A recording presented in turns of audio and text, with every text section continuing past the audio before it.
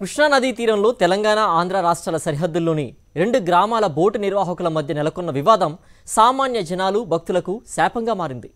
నాలుగు నెలలుగా నదీ ప్రయాణం నిలిచిపోవడంతో జనాలు తీవ్ర ఇబ్బందులు పడుతున్నారు. రెండు గ్రామాల మధ్య నెలకొన్న వివాదంపై సాక్షి టీవీ ప్రత్యేక కథనం. నాగర్ కర్నూలు జిల్లా కృష్ణానది తీరంలో ఇటు సోమశిల అటు నంద్యాల జిల్లా సిద్ధేశ్వరం గ్రామాల మధ్య నదిలో ప్రజలు దశాబ్దాల కాలంగా రాకపోకలు సాగిస్తున్నారు. పుట్టీలు నడిపే కాలం నుంచి మరబూట్లు వచ్చే వరకు రెండు గ్రామాలకు చెందిన తెలుగు కులస్తులు పరస్పర సహకారంతో నదిలు ప్రయాణికులను అటు ఇటు తరలించేవారు. వంతెన లేకపోవడంతో ప్రమాదమని తెలిసినా కూడా విధిలేని పరిస్థితుల్లో జనం మరబోట్లను ఆశ్రయిస్తున్నారు. సప్తనదుల సంగమం వద్ద కొలువైన సంగమేశ్వర ఆలయానికి రోజురోజుకు ఆదరణ పెరగడంతో పెద్ద ఎత్తున భక్తులు అక్కడికి వస్తున్నారు. ఏడాదిలో కేవలం ఐదు నెలలు మాత్రమే ఈ ఆలయం నీటిలో నుంచి బయటికి కనిపిస్తోంది. ఈ సమయంలో ఇటు కర్ణాటక మహారాష్ట్ర తెలంగాణ జిల్లాల నుంచి పెద్ద సంఖ్యలో భక్తులు ఆలయాన్ని సందర్శించేందుకు వెళ్తారు. ఇటు సోమశిల అటు సిద్ధేశ్వరం గ్రామాల ఘాట్ల వద్ద బోట్ల నిర్వాహకులు ప్రయాణికులను చేరవేసే బాధ్యత చూస్తున్నారు. ఇందుకోసం ప్రతి ఏటా వేలంపాట్లు నిర్వహిస్తారు. మొదట పదివేలతో ప్రారంభమైన వేలం నేడు అరవై లక్షలకు చేరుకుంది. అంటే నదీ ప్రయాణానికి ఎంత ఆదాయం వస్తుందో అర్థమవుతోంది.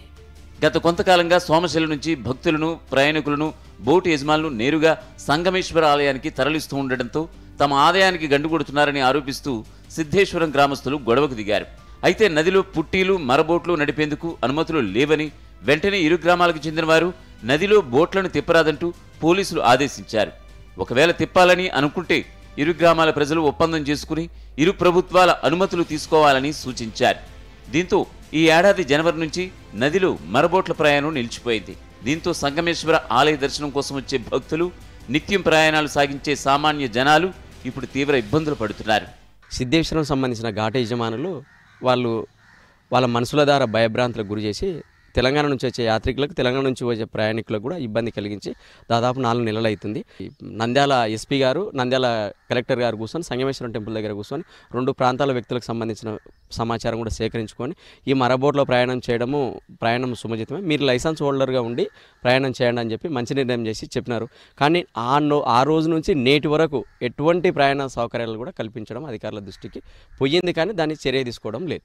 ఈ రెండు రాష్ట్రాలు డివైడ్ అయినాక కొంచెం గలాటల వల్ల అవతలికి పోతలేదు. హైదరాబాద్ నుంచి ఇతర జిల్లాల నుంచి పర్యాటకులు వస్తున్నారు. బోటు ఎందుకు నడుపుతలేరు అని ప్రయాణికులకు ఇబ్బంది అయింది. అవతల అవతల రాయలసీమలకు తెలంగాణలకు సంబంధాలు ఉన్నాయి. వాళ్ళ బంధువులు అక్కడిక్కడ బంధువులు రాకపోకలకు కూడా ఇబ్బంది అయింది.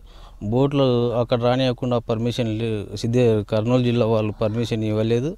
ఇప్పటికైనా ఇరు రాష్ట్రాల అధికారులు వివాదం సద్దుమరిగేందుకు తగు చర్యలు తీసుకుని సంగమేశ్వర ఆలయానికి వెళ్ళే భక్తులకు సులభమైన ప్రయాణం సాగేలా చర్యలు తీసుకోవాల్సిన అవసరం ఎంతైనా ఉంది.